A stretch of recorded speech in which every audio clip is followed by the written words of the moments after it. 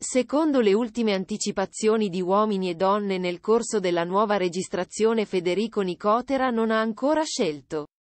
Maria De Filippi ha fatto sapere in studio che il tronista farà finalmente la sua tanto attesa scelta durante la prossima settimana.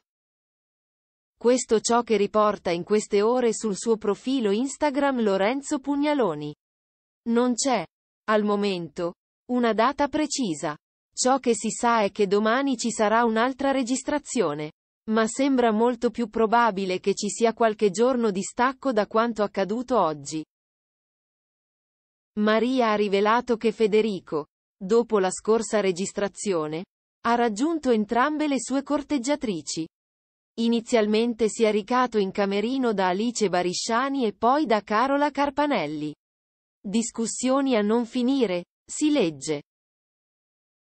La prima si è detta convinta del fatto che Nicotera sceglierà la sua rivale alla fine.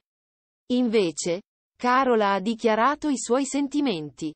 La Carpanelli, che si è ritrovata nella bufera nel corso delle recenti puntate del show di Canale 5, ha scritto per il tronista una lettera. Ebbene Carola AUD ha ammesso di amare Federico.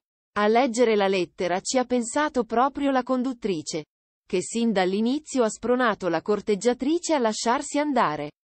Non solo. La padrona di casa ha cercato sempre di comprenderla e di tradurre i suoi gesti.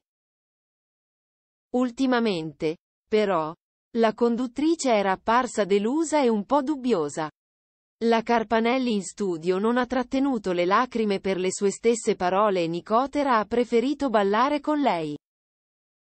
Alice, però, non ha preso bene la decisione presa dal tronista.